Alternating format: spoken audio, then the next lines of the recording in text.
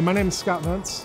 I'm the RF technician at WGAL TV at the military recruiting event. I walked by the Hearst table. The recruiter jumped out in front of me. He was like, hey, you know, what'd you do in the military? And I, I told him, I said, you know, I was avionics specialist for, for my first enlistment. I was a flight engineer for the second. I never really considered work for a TV station, or it wasn't even in the scope of my job search. You know, I was looking for another either engineering opportunity, another manufacturing technician kind of thing. They were telling me their stories, and it's like, you know, one guy was like 20 years, another guy was like 25 years, you know, 15 years, 30 years. People with technical skills, they have a lot of mobility, but they choose to stay and grow in their career in Hearst. You know, that was what I was looking for, a position where, you know, I can can grow, I can bring my ideas, my ideas are going to be received well.